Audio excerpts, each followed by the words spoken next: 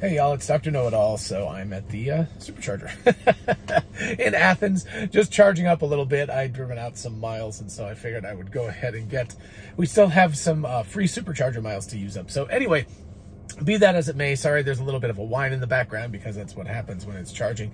Uh, speaking of which, actually, this is one of the EV myths is about charging and all the issues with charging, and definitely check out that episode if you haven't yet. It would be good for your friends, if not for you. There's a bunch of stuff where I clarify a bunch of myths about um, EV cars in general and Teslas in specific. So anyway, but today I wanted to talk about uh, Elon Musk and Tim Dodd's um, interview that they just, he just released it today, this afternoon. I guess I'll probably put this out tomorrow morning. I don't know. We'll see what, we'll see what happens. Anyway, I'm recording it in the evening, obviously, but, um, he Elon had a couple of quotes that were really interesting. Number one was that he says in order to make going to Mars a reasonable thing, they have got to reduce the cost of mass to the surface of Mars, useful mass to the surface of Mars. And I'll get into that in just a second, by 10,000 fold. And he was very specific. He said, I don't mean 10,000%, which would be 100 fold. He said 10,000 fold. So he was say, basically saying one metric ton currently costs approximately $1 billion. So if the Curiosity rover, I don't know exactly how much it weighs, but let's say it weighs one ton, that's approximately $1 billion to deliver that one ton to the surface of Mars. And he's saying that's got to be reduced by a factor of 10,000. So a billion divided by 1,000 is a million divided by another 10 is about 100,000. So he's talking about something like $100,000 per ton.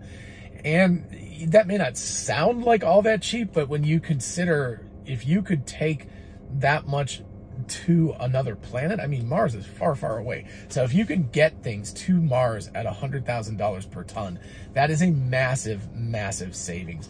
And it's really fascinating to think about how that could really open things up. Of course, it makes it much, much cheaper in that case to go to low Earth orbit. The moon, weirdly enough, has approximately the same delta V as going to Mars because the moon doesn't have an atmosphere. So it takes a lot longer to get to Mars, but you have to do all of the braking to get to the moon and to land on the moon. So there's a weird sort of correlation that even though the moon's only, uh, oh gosh, it's 240,000 miles, but what is that in kilometers? 40,000, sorry, 200, yeah, 400,000 kilometers approximately. Anyway, so, you know, it's way, way, way, way closer. Obviously, it's up in the sky. You can see it. It's way closer than Mars is, but because it doesn't have an atmosphere, it actually, the delta V necessary within, you know, the fuel, the propellant in the spacecraft is approximately the same. So weird little coincidence. But anyway, so that that is one of the things that's really fascinating. It's really fascinating to think about the fact that he really feels like Starship could actually make that happen. Uh, it's that big of a step change in, it's not just a step. It's like, you know, there's step changes like this. The Starship, if it works, it's going to be a step change like this. He did reiterate, interestingly enough, that they are going to, um, to orbit almost. so, so they're going to put Starlink satellites on this test vehicle. I think it's Starship number 24. I believe that's the one that they're looking at launching. It has a bunch of heat tiles on it. And at this point, interestingly enough, he did say the heat tiles do not make a complete uh, they don't completely cover the surface, the, the windward side of the Starship. And he said that's because even though I guess they're made out of ceramic, they will actually expand somewhat. Probably the metallic surface underneath it is going to expand even more. So they'll actually expand out and they'll cover more uh, they'll, they'll, actually fill in those gaps. And also the Starship is going to be coming in at an angle, so it's not going to be going straight into it, but going up the um, up the heat tile. So interestingly enough. Uh, but anyway, so there, there's a lot of really interesting things going on with that. Uh, he also said, uh, what was the other thing? Oh yeah, there's a potential scenario where we can delete the forward flaps entirely. That was a really interesting thing. The, the, the interview itself is just fantastic. I'm super jealous of Tim Dodd getting to essentially it's exactly what I would like to do is just hang out with Elon Musk just either in the Gigafactory in Texas or or at Starbase. Honestly, I think he kind of is more intrigued by space right now than he is by Tesla.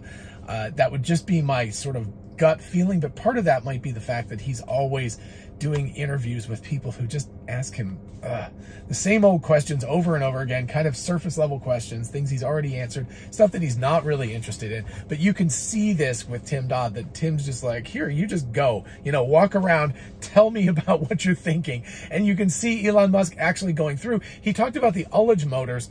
Um, ullage motors, by the way, are when you're in space and you turn off the rocket engine, all the liquid, you know, the propellant, the, the oxygen and the methane just starts floating around. And so you need small motors to push, to slightly accelerate the vehicle so that all the stuff settles to the bottom before you can light your main engines. So you can see that happening in the Apollo launches. It's very, very cool with the ullage motors and everything.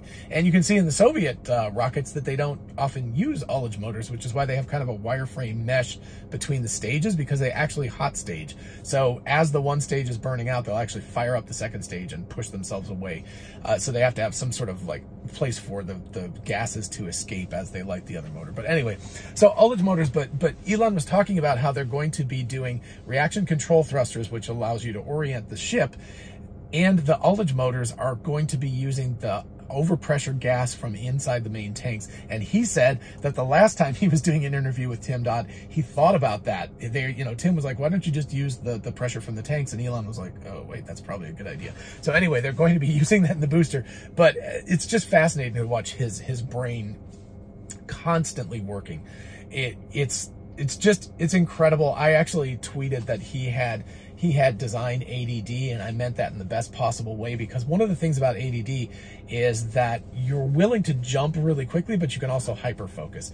And the fact that he's willing to talk about getting rid of the forward flaps on the Starship entirely which saves weight, it saves complexity, things like that is is an incredible, incredible like you know mental leap to be able to do that. But then you have to focus. You have to have this incredible hyper focus that's the opposite of attention deficit disorder. Uh, is is that you can just like get into something and really really focus on it. And the way this would work, actually, they have, oh, what was it called? Chines? I think it's called chines, but these little teeny, like little, little baby kind of runner fin things towards the bottom to increase the drag at the bottom because most of the weight after the tanks are empty is at the bottom. So the booster is going to want to go like this. It's going to want to like tip straight down, especially because it's got the um, the grid fins at the top, which is acting like a dart. You know, if you ever throw a dart, the weight of the dart is in the front and the feathers are in the back. Same thing, it's going to want to go straight down, but going straight down means it's very aerodynamically efficient, and you don't want that. You actually want it on its side. So anyway, so they're talking about creating the, the they are having these little chines on this and uh, to, to create extra resistance as it's falling to cause it to be more sideways.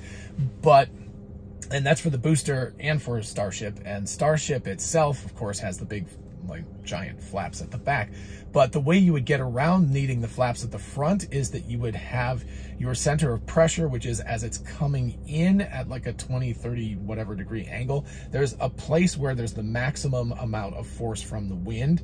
And then there's a gravitational center of mass, right? Which is probably going to be lower than the wind pressure center of mass. So it's going to want to flip like this, but you can utilize that to actually turn the vehicle you know, up and down and also back and forth sideways using only the back flaps and just some basic physics. Now, it's got to work through a lot of regimes. It's got to be hypersonic into supersonic into subsonic. There's a lot of regimes it's got to work at, but you can see, and, and the, um, a couple of his associates were there and they were talking about how complex it was to think through these things and how they have a lot of internal debates. Remember, this is stuff that nobody's done before. So they're, they're out there just exploring possibilities. I've talked about this before with Tesla. It's fascinating to see it happening with SpaceX as well, that they don't have, you know, they're wandering in the dark, trying to find the path assuming that there is even a path. There might not even be a path, right? So they think there's a path. They're in the dark. They don't have a flashlight and they don't know if they're going the right direction. So there's an awful lot of assumptions.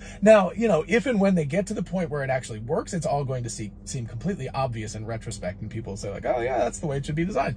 But it's not, that's not the, the kind of, we don't get that automatically. We have we have them wandering around in the dark trying to figure out the best way possible. So there's a likelihood of many mistakes. You could see Elon was actually almost in physical pain looking at the front flaps on the uh, Starship number 24 because he knows that they're not optimal, but at the same time, he also was repeating the fact. He was like, you could almost see him convincing himself. He was saying, we've got to get into space. We've got to launch this thing. We've got to put it into orbit. We've got to see how it's going to work, even if it's suboptimal. But there's a really big piece of him going like, we should get the flaps on the back on the leeward side so they're not so much on the windward side. We should stubify them. We should make them super tiny. We should, you know, or get rid of them if possible. Uh, so all of these things will be happening in the future, but you can also see that probably Gwynne Shotwell is like, no, we're going to launch this version of the vehicle. We've got to get something into space. Uh, interestingly enough, they are going to carry Starlink 2 satellites. So they will be going very, very slightly suborbital speed. So they still will be re-entering the atmosphere in the south, in the Pacific, and then kind of going near to Hawaii, where the, if assuming everything goes well, there will be a soft touchdown in the ocean. I don't know if they'll try to recover it or not. You know, I, it might also just sink. But the odds that it'll actually make it through all of those steps in soft land in the ocean are pretty, pretty crazy anyway. But as they do that, they're actually going to carry a useful payload of Starlink 2 satellites, which are the new ones with lasers. but but they will they're they're in a Pez dispenser is the crazy thing. There's like a little door that's going to slide down, and these guys are are like little flat, you know, they're kind of box shapes, and so they're going to come up on some sort of like pallet loader sort of thing, and then get spit out. So they'll be like, pching, pching, pching. so it's sort of like a Pez dispenser, basically. Open it up, it pops out, and it shoots off into space. And so they will release these things in that sort of method. Uh, anyway, so it'll be fascinating to see how all of that stuff works. I, I'm super interested in finding out how, uh, you know, whether this happens. I really hope that we can get down to Texas to actually watch this first launch. That's a big crossed our fingers. But anyway, that's a lot of positive news about what's going on at SpaceX right now. I know that I often talk about Tesla, but it's also, I'm incredibly fascinated by space stuff, which is why Elon Musk is like my hero. It's like my two favorite topics are like EV cars and, and, and artificial intelligence and going into space. So happy me. Anyway, I hope you enjoyed this brief little talk about this. I can get into more detail about some of these topics if you're interested.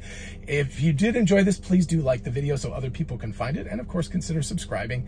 As always, a big shout out to my patrons on Patreon. And in the meantime, everybody have a lovely weekend. I will talk to you all soon. Bye-bye.